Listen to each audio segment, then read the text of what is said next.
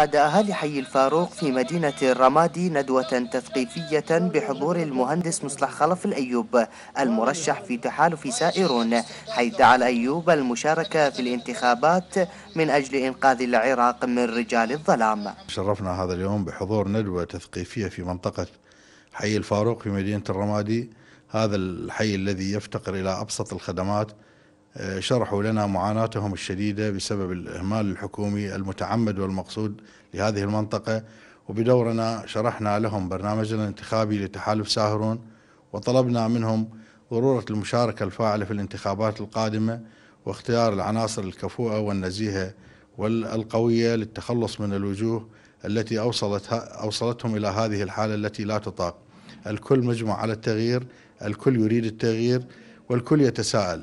هل سوف تصان أصواتنا أم سيلعب المال السياسي والتزوير دوره في تغيير النتائج وتستمر مع الأسف؟ هذه الوجوه الكالحة لأربع سنوات قادمة أخرى. رحب أهالي حي الفاروق بالمهندس مصلح خلف الأيوب المرشح في تحالف سائرون الذي دعاهم على دعم الوجوه الجديدة القادرة على توفير الخدمات التي يحتاجونها. نرحب بالأستاذ مصلح خلف الأيوب.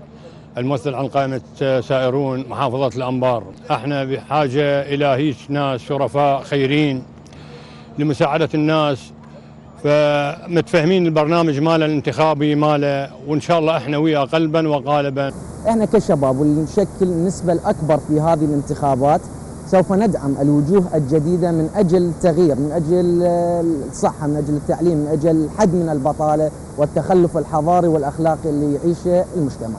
إحنا الأولين والله انتخبناهم وحكم ويانا وهذا ما حد دار لنا بال.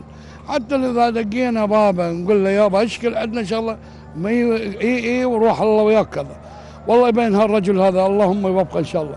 وانطانا عهد. عهد أمام الله وأمام البشر وأمام المجتمع هذا بإذن الله تعالى.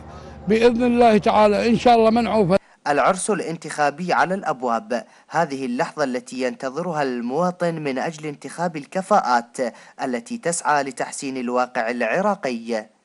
حذيفة السامراء قناة الرشيد الفضائية محافظة الأنبار.